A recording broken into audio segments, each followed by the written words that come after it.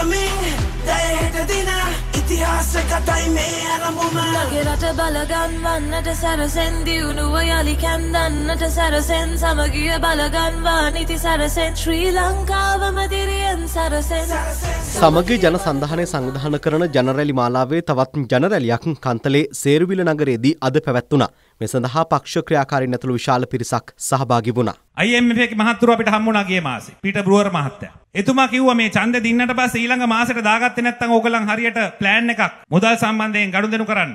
අපිට දෙසැම්බර් මාසේ ඉඳලා කණ්ඩ හම්බෙන්නේ නැහැ. මේ ලේසියට හිතන්න ඔබතුමාලා හිතන්න එපා මේ ඔබතුමාලා හොඳට ඉඳගෙන ඉන්නේ. ජීප් එකට දීලා දීලා බලමු කරයිද කර නැත්නම් ඒත් කමක් නැහැ. අය බල්ලා ගොඩ එන්න බෑ. එයින්ද සහෝදරනි ජීප් එකට කිසිම පළපුරුද්දක් අදහසක් නෑ මේ නයටික කොහොමද ගෙවාගන්න කියලා. අන්ඩුකුමාර මහත්තය කියන පිටට ඉන්න කට ොරල් පන්සිය පන්සේවන්න කියනවල. සහෝදර ොරල් බිලියනයක් කියලා කියන්න හිතාගන්නත් දැරි මුදලක්. එතර හොඳ මොලේ තියෙන දක්ෂ කණ්ඩායමක් මේකට ගේන්ඩොට මේ විහිලුවක් නෙමේ හොඳ ඔබතුමල්ල මේ විශේෂයෙන්ම මන් දකිනවා ගම්වල සමහර තැන්වල. අපි නෑ අපිට ඔක්කොම එපාලා තියෙන මුන්ටත් දීලා බලමු කියලා. උන් ආණ්ඩු හැමේගෙම හිටියන සහෝදරුන්. අපේ මන්ත්‍රීවරුන්ට සදිත් පෙමස මහත්තයක් පැය විසි අතර මාන්සල වැඩ කර මනුස්සේ අල්පේච්ච ජීවිතයක් එතුමා ගත කරන්න. වර්ල් ඩිස්නියගේ අලුත්ම නවතම කතාමාලාව එලි දක්වනවා. ඒ තමයි අනුර කුමාර දිසානායකගේ රට හදන ප්‍රතිපත්තිය අද දවසේ එලි දක්වනවලු. අපිට පුළුවන් සුරංගනා ලෝකයක් දැක බලා ගැනීමට අපේ ජනතාවට.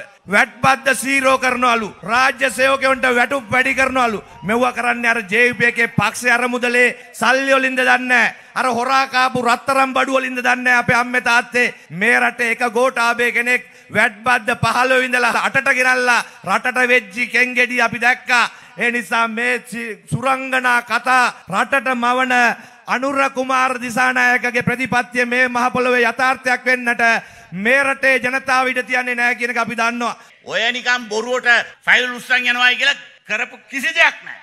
ඒ හින්දා අපි ඉල්ලා හිටිනවා මේ බොරුවට රැවටෙන්න එපා. අපේ ආණ්ඩුව සජිත් ප්‍රේමදාසයන්ගේ නායකත්වයෙන් මේවා පිළිබඳව නිසි ලෙස කටයුතු කරනවා ඒ සම්පත් කොහෙ තිබුණත් මේ රටට අපි ගෙන එනවායි කියනක අපි කියමින් ආගම්වාදයෙන් තොරව ජාතිවාදයෙන් තොරව මේ රටේ පාලනය කරලා මේ රටේ අනාගතයේදී අපේ රට සංවර්ධන කරලා අපේ ආර්ථිකය අපි වෙටිලා තියෙන මේ ආර්ථිකෙන් එතුමා ශක්තිමත් කරන්න පුළුවන් නායකෙක්. අපේ අනාගත ජනාධිපති සජිත් ප්‍රේමදාස මහතා දිනවන්න ඔබ සියලු දෙනාම කටයුතු කරන්න කියලා මම කරුණාවෙන් ඉල්ලීම කරමින් සියලුම පොහොර මේ කිලෝ 50 මිටිය 5000ට ලබා දෙන එක නිවැරදිව නිර්ව්‍යාජව විනිවිද භාවයෙන් යුක්තව කළුකඩ ජාවාරමෙන් තොරව අපි ලබා දෙන්න කටයුතු කරනවා. QR කෝඩ් එක උපයෝගී කරගෙන ගොවි ජනතාවට, දීවර ජනතාවට, ත්‍රිරෝද රථ භාවිතා කරන අයිතිකරුවන්ට, පාසල් ප්‍රවාහන සේවයේ නිරත වී සිටින අයට, ශක්ති වීමෝල් හිමියන්ට ඉන්දන සහනාධාරයක් ලබා දෙනවයි කියන එක මම මේ අවස්ථාවේ කියන්න කැමතියි. අද මහා ණය බරකින් මේ ගොවි ජනතාව පෙළෙන්නේ. පැහැදිලිව මම ඔබට කියනවා ඔබගේ වගානය කපා හරින්නට අපි අනිවාර්යයෙන්ම කටයුතු කරනවා. අපි ගොවියට සහතික මිලක් ලබා දෙනවා.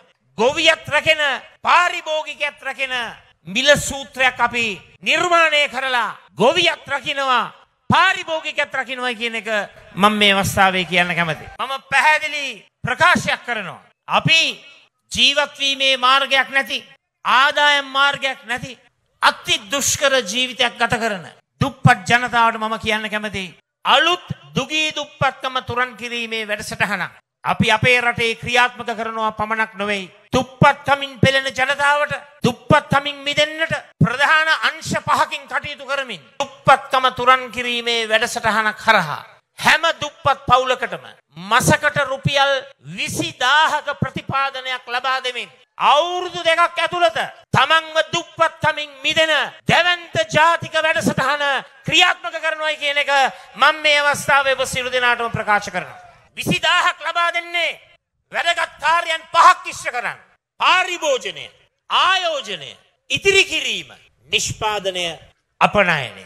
මේ අංශ පහ කේන්ද්‍ර කරගෙන මාස 24ක් ඇතුළත අවුරුදු දෙකක් ඇතුළත දුප්පත් ජනතාව දුප්පත්කමින් මිදෙන්නට ඕන. සදාකාලිකව කවුරුත් කැමති නෑ දුප්පත්කමේ රැඳී සිටින්නට.